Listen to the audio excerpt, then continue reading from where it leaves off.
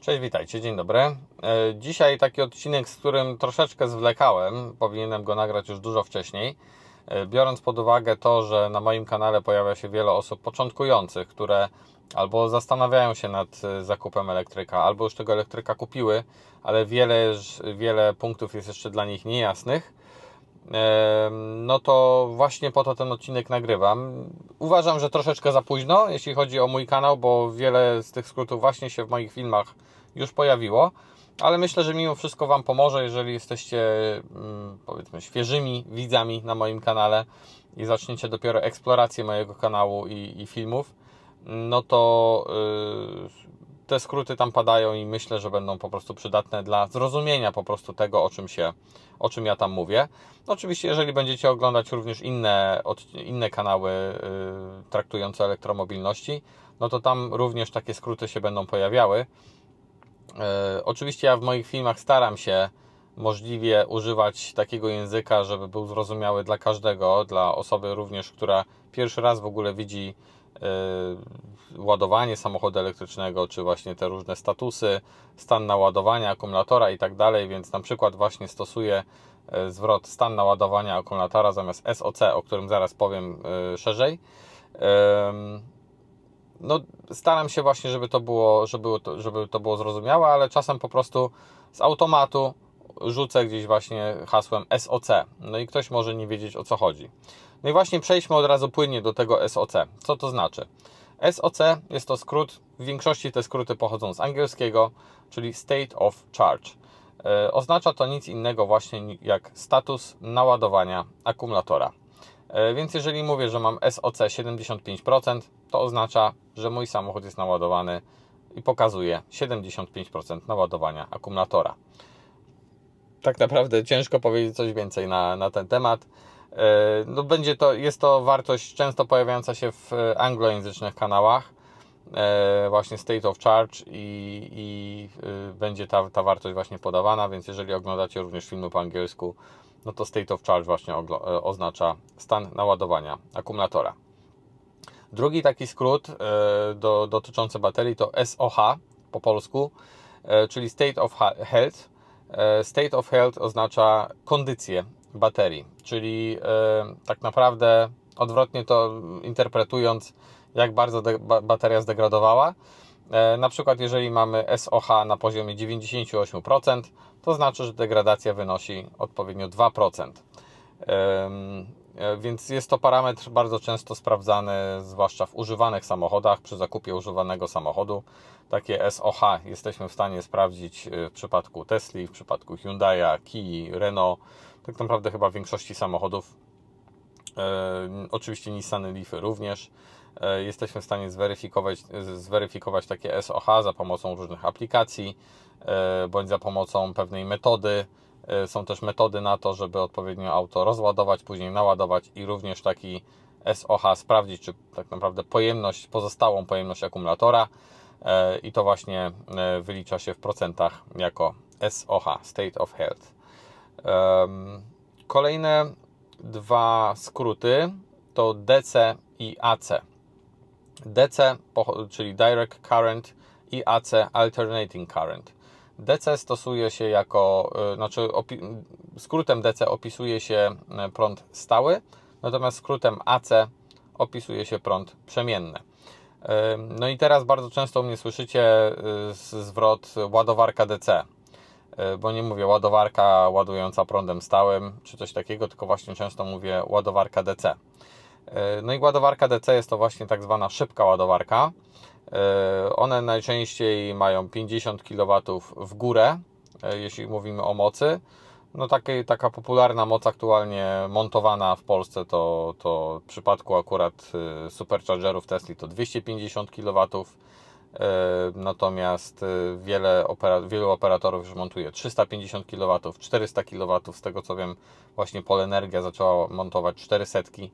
E, oczywiście są, są producenci, którzy już robią ładowarki DC o mocach 600, 800, nawet 1000 kW, to bardziej dedykowane już do ciężarówek autobusów, ale są właśnie również takie urządzenia, no bo też ten, ten rynek się rozwija i to jest jak z telefonami komórkowymi, to, co jest dzisiaj, za dwa lata już będzie przestarzałą technologią, można tak powiedzieć, i już będzie zupełnie co innego. No, ale wracając do meritum, DC jest to właśnie określenie prądu stałego. No i teraz e, ładowarki DC i ładowarki AC. E, możecie również też słyszeć takie zwroty. No to właśnie ładowarka DC jest to ta, ta szybka, która jest w stanie nam naładować samochód skrótowo, zupełnie skrótowo teraz mówię, najczęściej w pół godziny. Natomiast y, ładowarka AC będzie ładowała Wam samochód kilka godzin. I taką w cudzysłowie ładowarką AC jest na przykład właśnie to, to urządzenie EVSE, czyli taki zasilacz do ładowania samochodu, który bardzo często dostajemy po prostu z samochodem. Jeżeli odbieramy samochód w salonie, to często dostajemy po prostu taki zasilacz, można to powiedzieć. E, czyli z jednej strony wtyczka, z drugiej strony wtyczka e, do samochodu i po środku taka, e, taka cegła. E, więc to nie jest ładowarka, ale mówi się na to powszechnie w Polsce ładowarka. I to właśnie jest e, taka, nazwijmy to, ładowarka AC, która jest Wam w stanie naładować samochód w domu e, ze zwykłego gniazdka czy z gniazdka siłowego, właśnie prądem przemiennym, bo w domu mamy, w gniazdkach mamy prąd przemienny, czyli prąd AC. E, stąd właśnie są te, te ładowania AC po prostu wolniejsze, ponieważ ten prąd musi być przeinaczony, przekonwertowany na prąd stały bo bateria jest nośnikiem prądu stałego, e, więc w samochodzie jest ładowarka pokładowa, który ten prąd AC, ten prąd przemienny musi przerobić na prąd stały i dostarczyć do baterii. Stąd to wszystko po prostu dłużej trwa i te moce są ograniczone. Na przykład taka Tesla może się ładować prądem stałym do 250 kW, a prądem przemiennym tylko do 11 kW. Takie są to różnice. Więc jeżeli słyszycie ładowarka AC, że ktoś się chce ładować na ładowarce AC, to znaczy, że spędzi tam najprawdopodobniej kilka godzin. E, natomiast e, jeżeli jedzie na ładowarkę DC, no to właśnie jedzie na tą szybką ładowarkę, która umożliwia ładowanie w kilka, kilkanaście minut najczęściej. Kolejne skróty to skróty dotyczące typów złączy. Najpopularniejszy typ złącza w Polsce to CCS. E, w Polsce i w Europie, może źle powiedziałem. W Europie jest to najpopularniejszy e, port mm, ładowania. Wy na przebitce pewnie też widzicie teraz, jak on wygląda. CCS jest po prostu takim standardem, który y, przyjął się w Europie i to złącze służy właśnie do ładowania prądem stałym. Czyli te wtyczki są e, na tych ładowarkach z prądem stałym są troszeczkę większe. Mówi się na to właśnie złącze CCS i to złącze umożliwia mm, ładowanie prądem stałym. Natomiast jak widzicie może jest ono niejako trochę tożsame ze złączem typu drugiego. E, I właśnie mówi się złącze typu drugiego lub złącze Type 2 z angielskiego. E, to jest ta, ta górna część tego złącza CCS. Ja Wam teraz też na przebitce pokazuję, jak wygląda wtyczka typu drugiego i jak ona po prostu pasuje również do takiego złącza CCS w samochodzie w tym przypadku tutaj Tesli. E, no i właśnie Type 2 umożliwia znowuż ładowanie prądem przemiennym. I jest to taki standard, tak jak mamy w telefonach, mamy USB-C w tej chwili, że nawet iPhone ma już USB-C w swoich, e, w swoich telefonach. Tak samo tutaj e, w samochodach elektrycznych w Europie obowiązuje Type 2.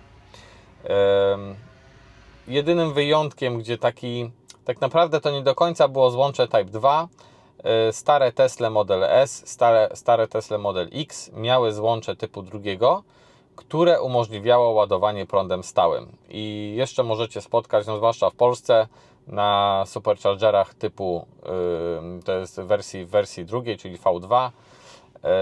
Tam są dwa kable zawsze. Jeden kabel to jest CCS, a drugi kabel to jest yy, właśnie ten w cudzysłowie Type 2, dedykowany do starych Tesli.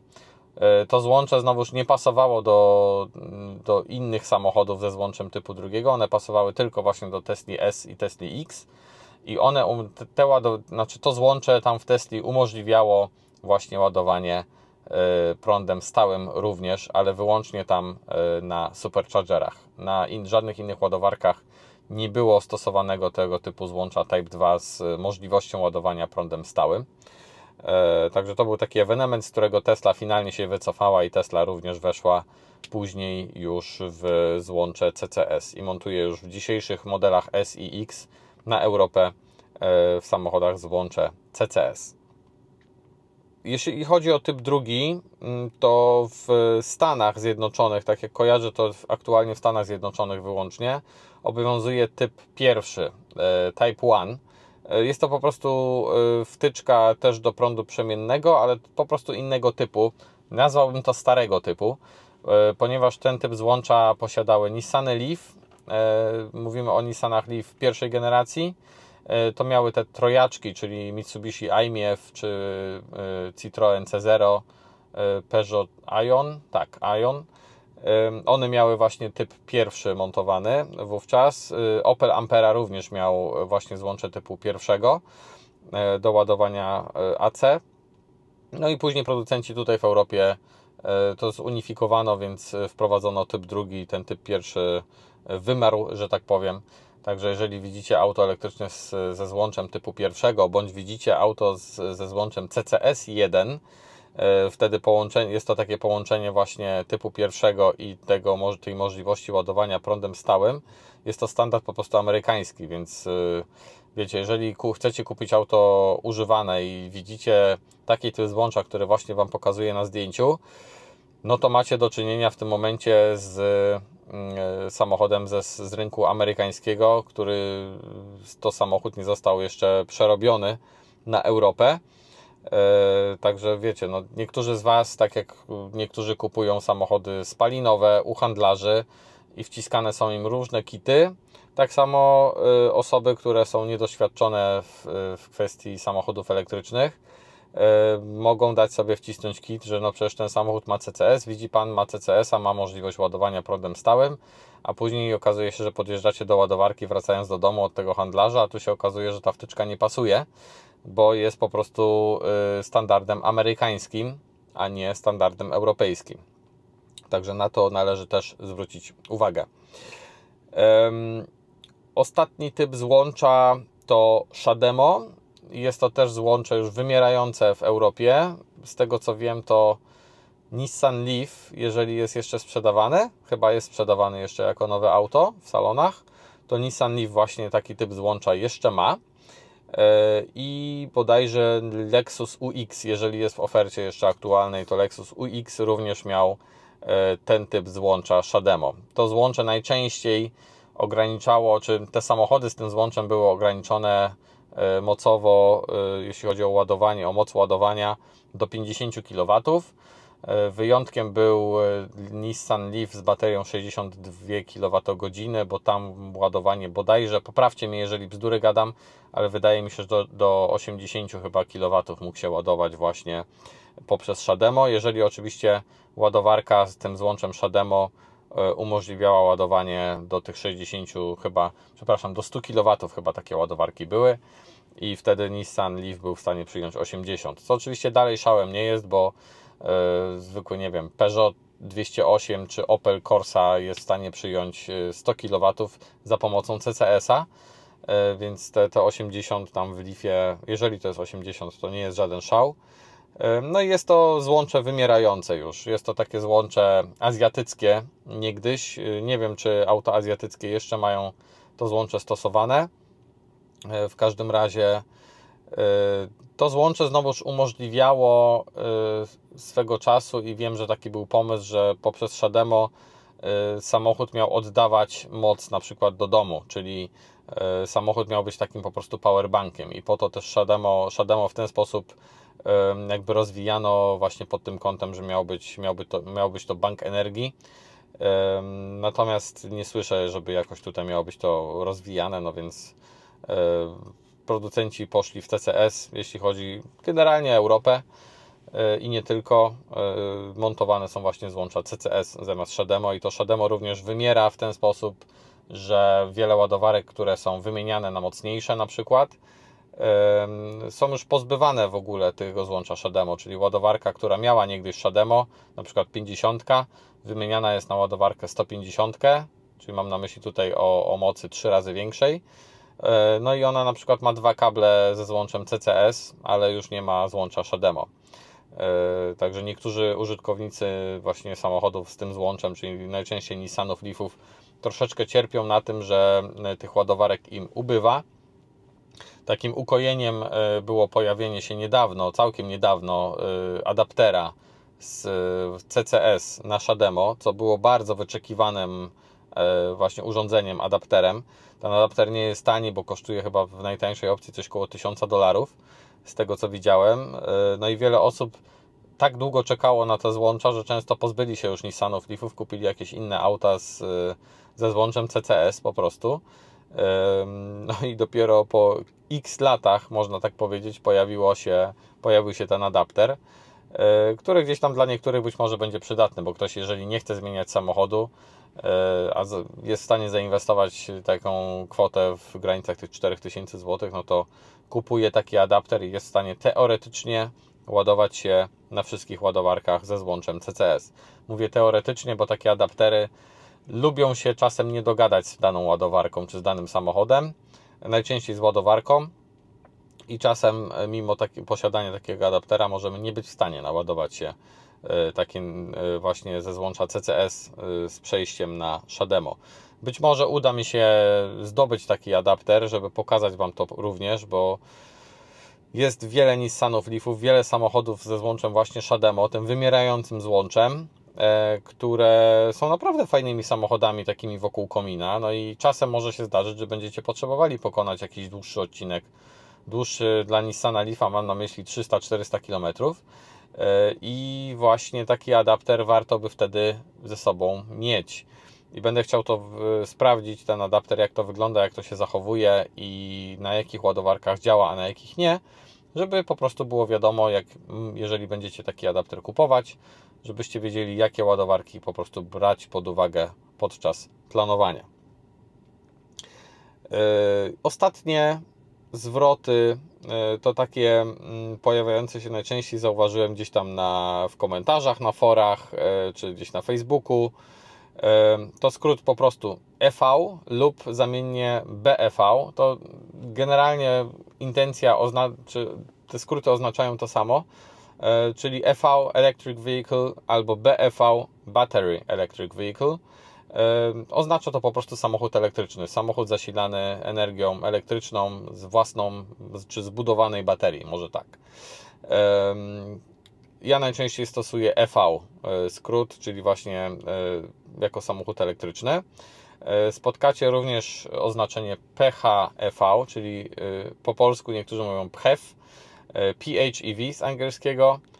Jest to po prostu plug-in hybrid electric vehicle, czyli po polsku my mówimy najczęściej mam plugina, czyli samochód hybrydowy z, z silnikiem spalinowym, z, z, oczywiście z jakąś tam baterią, z możliwością ładowania tej baterii e, z wallboxa, czy właśnie za pomocą EVSE, e, czyli samochód, który ma takie złącze typu drugiego najczęściej, aczkolwiek zdarzają się też pluginy e, z CCS-em nawet i to z tego co kojarzę Mercedesy mają coś takiego, że mamy samochód typu plugin i mamy ładowarkę, mamy możliwość naładowania tej baterii właśnie E, właśnie za pomocą prądu stałego nawet.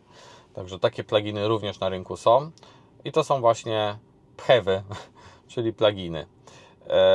Ostatnie oznaczenie, ostatni skrót to jest y, HEV, czyli Hybrid Electric Vehicle, czyli po prostu wszystkie hybrydy, które nazwijmy to hybrydy zwykłe, które nie mają możliwości e, ładowania y, z wallboxa czy z gniazdka, po prostu mają baterię, która ładuje się najczęściej podczas e, zjeżdżania z górki bądź podczas hamowania. E, wtedy ten akumulator jest uzupełniany. On jest odpowiednio też mniejszy niż w przypadku pluginów, no bo plugin umożliwia ładowanie czy przejechanie samochodem e, na, wyłącznie na prądzie elektrycznym, często nawet 100 km. Natomiast jeśli chodzi o hybrydy takie zwykłe, no to to jest z reguły kilka kilometrów, które jesteśmy w stanie przejechać na prądzie. No i generalnie w tych hybrydach służy ten, ten prąd do tego, żeby wspomagać auto tam, gdzie ono jest najbardziej obciążone, czyli na przykład podczas ruszania na światłach, czy po prostu ruszania. E, tam wtedy jest najwięcej paliwa zużywane i ten e, silnik elektryczny ma ten samochód wspomagać dodatkowo. No i myślę, że dzisiaj to będzie e, wszystko. Mm, wiem, że ten film troszeczkę późno nagrywam, bo już wielokrotnie te skróty, o których mówiłem dzisiaj, padły w moich filmach. No ale wiem też, że na kanale pojawia się sporo nowych osób, y, jest po prostu też sporo osób początkujących, rozglądających się za elektrykiem, czy myślących o elektryku, albo świeżo po zakupie elektryka.